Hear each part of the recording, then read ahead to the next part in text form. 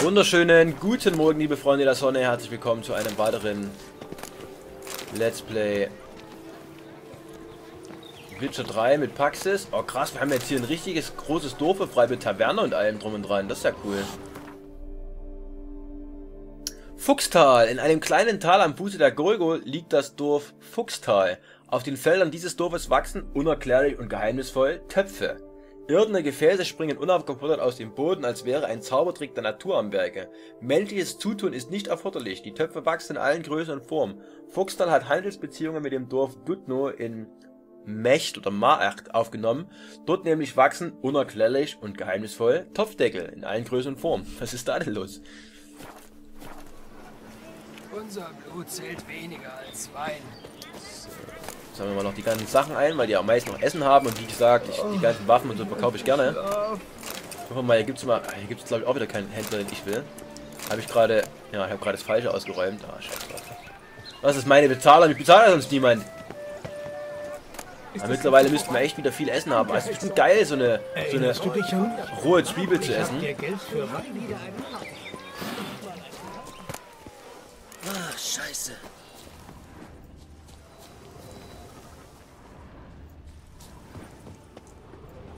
Ja, der muss doch irgendwo hier sein. Da. Gut. Ich glaube, hier ist leider nur eine Taverne. Und kein Händler. Ja. Auf welchen Feldern ist es denn jetzt mit den Töpfen? Ich würde es gerne mal sehen.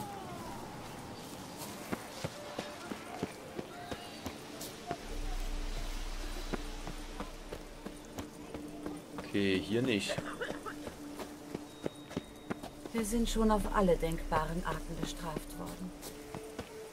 Hm. Hier? Ah, Moment, wir gehen mal zu den Leichenberg da drüber.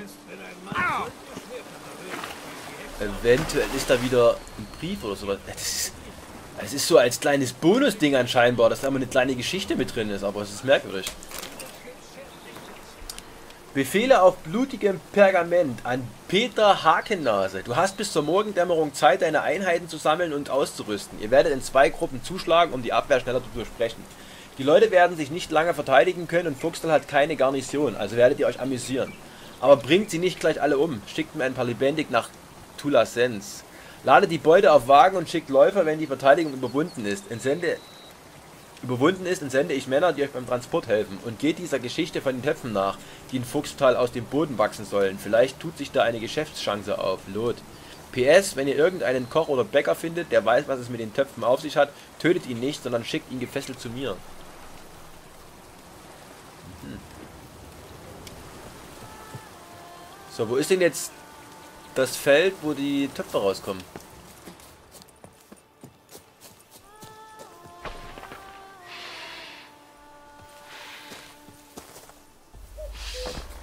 Okay, also ist alles Mögliche, aber... Hallo, wer greift mich an? Hä?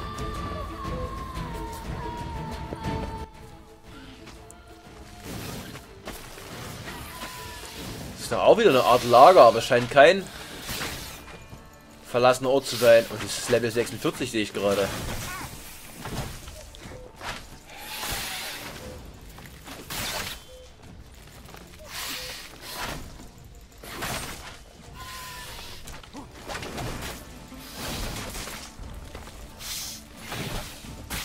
Machen quasi keinen Schaden. Was ist denn hier los? Ist halt auch nervig, weil es zwei sind. Ach, da sind die Töpfe. Habt ihr das gesehen?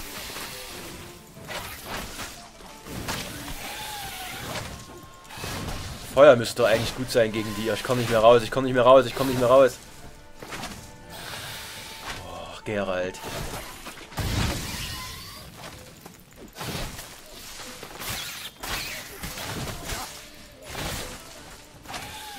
Alter, die Pflanze nervt.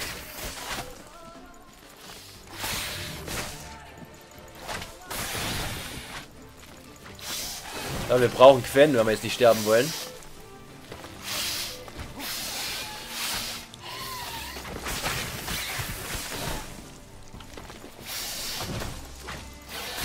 So, eine weniger. Ach, die lebt ja immer noch. So, eine weniger.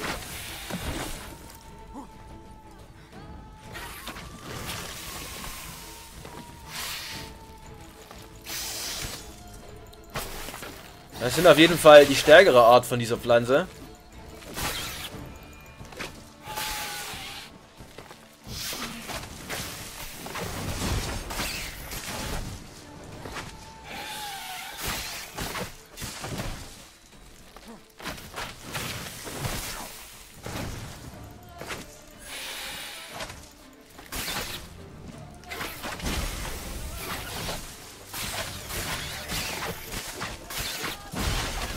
Also, boah, die waren schwer, die waren anstrengend. Giftet die noch rum? Nee. Werden mal ein Stündchen... Ach, jetzt müssen wir eigentlich schon... Oh, fuck, wir müssen eigentlich erstmal zu dem anderen Auftrag gehen. Gucken, wie der hieß. Weinfäden... Ne, das war ja eigentlich ein Hexerauftrag, genau. Geh mittags zu Graf und nimm am Picknick teil. Ich weiß halt nicht, ob das so genau ist, dass da wirklich dass der nächste Tag ist und das dann quasi abgelaufen ist oder ob man immer mittags dahin gehen kann, aber es ist mir zu riskant, ehrlich gesagt, dieses Quest zu verlieren, weil man wirklich am nächsten Tag hingehen muss und es ist jetzt gerade der nächste Tag, deswegen würde ich dann doch erstmal mich dahin verziehen. So, ich habe jetzt dieses Lager hier quasi auch noch befreit. Es war überhaupt gar kein besonderer Ort im Sinne von äh, verlassene Städte oder irgendwas, aber es gehört ja logischerweise mit zu dem Dorf, weil es scheint ja hier diese Felder zu sein, wo diese Töpfe halt rauskommen. Und dementsprechend, ja, habe ich ihnen noch einen Gefallen getan, auch wenn das irgendwie nicht wirklich relevant war. Aber wir gehen jetzt... Das war nicht der Plan. Wir gehen jetzt erstmal ganz, ganz weit woanders hin. Und dann reisen wir einfach wieder zurück ins Fuchstal. Das macht ja nichts. Oh, fuck, da können wir noch nicht mal schnell hinreisen, weil wir da noch nichts haben. Naja, egal. Dann müssen wir jetzt erstmal hier hin. Wir sind auch viele Fragezeichen. Das heißt, wir können dann, nachdem wir das mit der Hexe auf dem Luxberg, wie auch immer, gemacht haben, wenn wir rein theoretischerweise uns... Waren eigentlich gerade vor ein paar Sekunden noch diese Leichen? Okay. Können wir dann auf jeden Fall auch erstmal ein paar Fragezeichen wieder klären. Neuen Konga-Brüder hast du nie wieder einen Kater. Ja, natürlich. Besoffen im Rindstein. Leg halt, ich, zumindest noch in die Taverne reingehen. Das soll ja nicht so lange dauern. Weil, ach, wenn wir jetzt schnell reisen, vergeht ja auch Zeit, fällt mir gerade ein. Oh oh. Mal schauen. Aber es wäre ein bisschen scheiße, oder? Wenn dann dieser...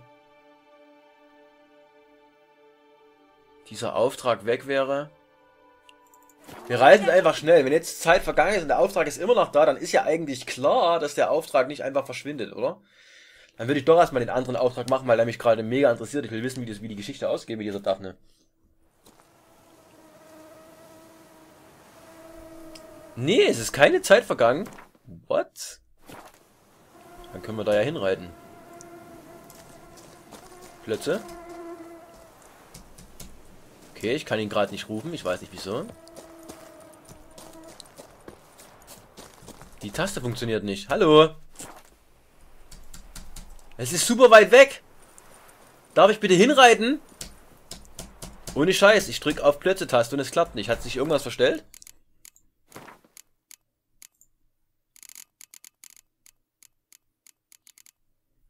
Pferd rufen. Nee, ist immer noch auf X. Oh, ey. Weiß nicht, was das für ein Bug ist, aber ich kann gerade nicht Plötze rufen. Das nervt mich. Schön 400 Schritt rennen. Versuch's auch immer zwischendrin, aber passiert einfach nichts. Belgard Weingut. Der ehemalige Besitzer des Weinguts fiel einem Kredithai zum Opfer und verschuldete sich. Der Kredithai schickte ihm Banditen, um die Schulden einzutreiben. Als denen klar wurde, dass es kein Geld zum Eintreiben, gab, ermordeten sie den Mann und alle anderen Bewohner des Anwesens. Und als wäre das nicht Schandtag genug, machten sie das Weingut zu ihrem Basislager und überfielen von dort aus Weintransporte für ihre wilden Saufurgien. Sie waren so wild und so gut ausgerüstet, dass niemand sie besiegen konnte. Bis eines Tages ein tapferer Alchemist einen Weintransport durch das berüchtigte Gebiet mit einer hohen Dosis Rizinus versetzte. Oh, da muss man dann ziemlich kräftig aufs Klo. Das ist zumindest das, was eigentlich Rizinusöl macht. Und wahrscheinlich haben die dann, die dann abgeschlachtet worden oder so, keine Ahnung. Ziemlich große Weinfelder, aber wie mich auf den Sack geht, dass ich gerade laufen muss. Es wäre so geil gewesen, lang zu reiten. Aber wie gesagt, die Taste funktioniert gerade nicht. Ich weiß, oh, sorry. Ich weiß nicht, woran es liegt. Wahrscheinlich ist es weg, wenn ich neu lade, aber ich habe jetzt keinen Bock, hier neu zu laden. Laufen halt ein paar Schritte. Von da aus, da gibt es ja dann auch ein Wegkreuz, können wir dann einfach wieder uns äh, schnell reisen, also zurück schnell reisen. Ins Fuchstal, das soll ja dann kein Problem sein.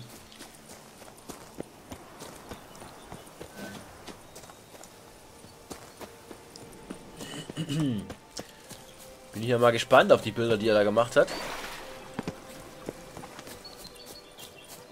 Oh, hier gibt es auch noch ein Anschlagbrett. Sehr schön. Macht sie erstmal den Auftrag hier. Kunst ist nicht das Brot. Brief von Frau Graf Bieletal. Lebens. Meine Liebe, hier ist alles gut. Es ist jetzt schon seit Tagen heiß und sonnig und das Fenster in Clarissas Zimmer steht fast den ganzen Tag offen.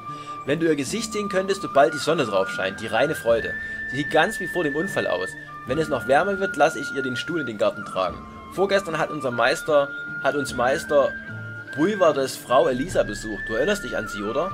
Als die Bouivardes nach Kovir gegangen sind, haben sich alle Damen der feinen Gesellschaft gefürchtet, sie zum Abendessen einzuladen, da sie entweder verrückt oder eine Art autodidaktische Hex zu sein schien. Das lag daran, dass sie trotz mangelnder Ausbildung Zaubersalben und Zauberkosmetik herstellt. Angeblich hat sie drei Jahre in den Drachenbergen zugebracht, um von einer Elfenzauberin zu lernen. Du weißt ja, ich gebe nichts auf Gerüchte, darum habe ich sie gleich auf ein Glas Limonade eingeladen, als der Diener sie ankündigte. Sie hat sich als außerordentlich charmante Person erwiesen und die Geschichten über Zauberei sind schrecklich übertrieben. Sie hat tatsächlich drei Jahre in Arethusa studiert, musste die Akademie nach schweren Fehlinvestitionen ihres Vaters jedoch verlassen. Immerhin konnte sie sich ein solides Wissen über Pflanzen und deren magische Anwendung erwerben. Sie hat eine Heilsalbe mitgebracht, die sich Clarissa zehn Tage lang morgens und abends in die Beine einmassieren muss. Danach will Elisa uns wieder besuchen, um sich die Ergebnisse anzusehen und uns weiter zu beraten. Ich habe ein gutes Gefühl bei dieser Frau. Im nächsten Brief werde ich berichten, was ihre Behandlung erbracht hat. Pass auf dich auf, meine Liebe. Du darfst bitte nicht überreagieren und etwas Dummes tun, denn ich wüsste nicht, was ich täte, wenn dir etwas zustieße. Ihre liebe Arabella. Was für ein Zufall, dass wir den Brief da drin gefunden haben, in diesem Kasten Wein. Die Wildnis Toussaints birgt unzählige faszinierende Geheimnisse. Wie geht es dir? Die herrlichen Wiesen und die unberührten Ja. Wälder sind Heimat der Gef Sowohl die Weibchen als auch die Männchen der Tausendfüßler von Beauclair sind exzellente Jäger. Die Tiere greifen meist rudelweise an, doch einmal konnte der Autor dieser außergewöhnlichen Arbeit ein Einzelexemplar in Angriffsbereitschaft einfangen. Man beachte den Jäger, der in vollem Bewusstsein der Gefahr und in aller Entschlossenheit auf den richtigen Augenblick zum Zuschlagen wartet. Ah, Gerald, da bist du. Wunderbar. Tritt näher. Wie schön, dich zu sehen. Ich habe ein kleines Geschenk für dich, das du nicht ablehnen darfst. Du kannst es natürlich verkaufen. Aber es wäre mir eine Ehre, wenn du es bei dir zu Hause aufhängen würdest. Danke. Kann ich das Bild bitte wirklich haben, also im Echt jetzt? Eine deiner Wachen im Lager hat mir von Clarissa erzählt. Es tut mir leid, dass sie einen Unfall hatte. Danke. Solch freundliche Worte bedeuten mir sehr viel. Wie geht es, Clarissa? Sicher kann sie deine Rückkehr kaum erwarten. Damit sie ihre Geschenke kriegt, meinst du? Aber ich habe ihr schon zwei geschickt. Sie muss nicht auf meine Rückkehr warten. Auf dem Heimweg will ich durch Dol Blatana ziehen. Angeblich gibt es dort Sylvane. Stimmt. Ich kenne sogar einen. Er heißt Tork. Kann ziemlich niederträchtig sein, aber wenn der Preis stimmt, tut er alles. Wie schön. Danke für den Tipp.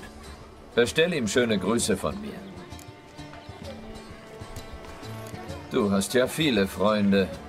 Und sie sind ganz hingerissen von deinen Bildern. Oh, wer so viel Geld hat wie ich, der wird umschwirrt wie frisches Fleisch von Fliegen. Jeder Nieser, Jeder Rülpser wird beklatscht und bejubelt. Sie sind nicht alle verlogene Kriecher. Das will ich nicht sagen. Nur die meisten. Leider. Warum lädst du sie überhaupt ein? Ich bin ein Mann des Geschäfts, das sich über jede persönliche Sympathie oder Antipathie stelle. Außerdem, Außerdem, Bisweilen stelle ich ein total missratenes Bild aus, nur um mir anzuhören, wie sie sich überschlagen, um dieses Geschmiere über den grünen Klee zu loben. je dringender jemand sich meine Gunst erwerben möchte, desto lauter preist er das Meisterwerk. Ein diebischer Spaß. schön dich zu treffen. Bis dann. So. Habe ich das Bild, äh, das Bild ist automatisch? Darf er ja auf Garantie mitessen, das ist ja diesmal kein Clown. Hauptbuch. Auch rot. Ich verstehe nicht, warum so viele rote Sachen sind. Das ist doch gar kein richtiges Questzeug, oder? Bestellung von Wein aus Toussaint. Und dann auch noch sowas. Was will ich denn damit? Das gibt kein Schwein. viel Glück bei der Jagd, Hexer. Mehr Essen für mich? Ich habe viel Hunger.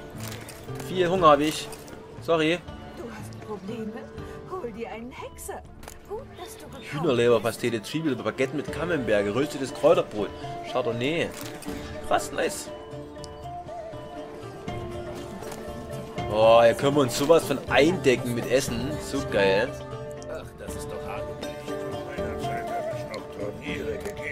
Himbeeren, Pfeffer, Toffee, Essig. Hm, Essig, oh, das gibt mir aber Kraft, wenn ich einen Liter Essig trinke.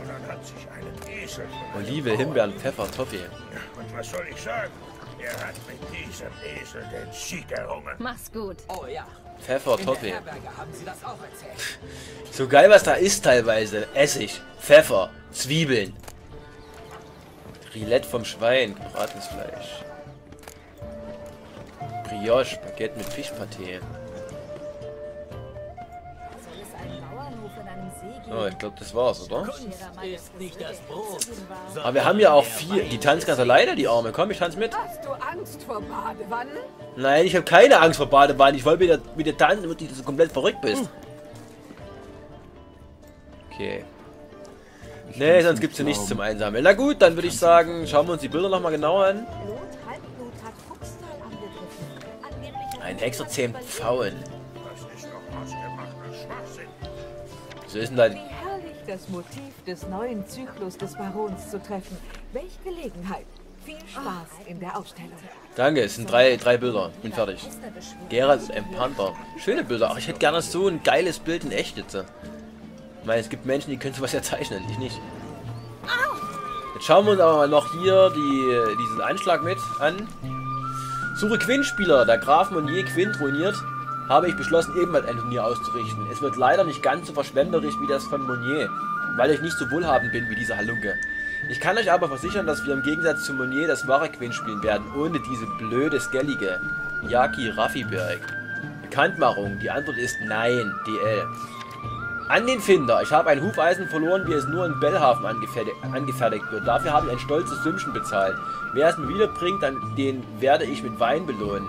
Marcel von Basar. Nein, ich bin kein verfluchtes Pferd. Ich meine es ernst. Suche Dame in Not. Ich bin ein fahrender Ritter und möchte gerne für eine Heldentat bekannt werden. Wenn jemand also von einer Dame in Not weiß, lasse er es mich wissen. Am liebsten wäre mir ein Mädchen, das von einem Riesen in einem Turm gefangen gehalten wird. Und das Mädchen sollte nicht älter als 20 Sommer sein, denn das ist auch mein Alter. Ach ja, und sie sollte gärtenschlank sein. Hercule de la Massue. Ich finde diese ganzen, äh, wie sagt man, diese ganzen, wie sagt man es denn, Easter Eggs auf andere Geschichten, Legenden und Wahrheiten sehr geil. Das war jetzt quasi auch wieder so eine Mischung aus Herkules und Rapunzel, lass dein Haar herunter. Aber es gab ja schon so viele andere in Planet Wild. Jesus zum Beispiel, der das Wasser läuft. Kaufe Bienen, ich bin Bienenzüchter. Letztes Jahr raffte eine merkwürdige Seuche mein gesamte, meine gesamten Bienenvölker dahin und ich würde niemals auf den Gedanken kommen, fremde Bienen zu stehlen. Wenn ihr Bienen zu verkaufen habt, kaufe ich sie euch liebend gern ab. Alois. Hortens Weingut geschlossen. Bei einem Angriff grässlicher Kreaturen, die an riesenhafte Tausendfüßer erinnerten, erlitt der Eigentümer des Hortens Weingut schwere Verletzungen. Da die Bedrohung noch nicht gebannt ist, bleibt das Hortens Weingut bis auf weiteres geschlossen. Wir bieten vielmals um Verständnis. Okay, viele Fragezeichen sind jetzt nicht wirklich aufgekommen, aber egal. Gut, gut, gut, gut. Kein Nebenquest, wie es aussieht. Interessant. Die Taverne gehen wir natürlich auch noch rein. Stimmt, im Fuchs hatten wir auch noch eine Taverne, in der wir nicht drin waren. Wie heißt die? Zum Scharlachroten Kardinal.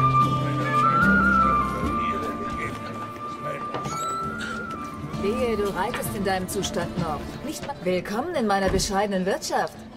Aus welchem Land stammst du? Puh, ich bin schon so lange unterwegs, dass ich keine Antwort weiß. Sagen wir aus dem Norden. Ach, ist es wahr, was man sich erzählt? Krieg und Tod und Zerstörung überall? Das ist übertrieben, aber nicht sehr.